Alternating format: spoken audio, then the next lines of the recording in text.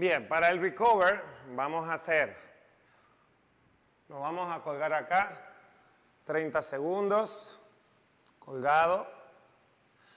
Luego vamos a hacer lat stretch, el mismo que hicimos en el calentamiento. Vamos acá.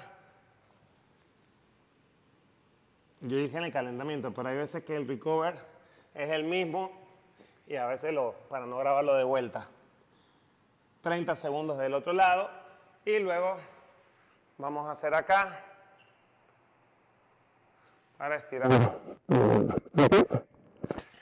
Y terminamos, completamos tres sets de esto último y listo.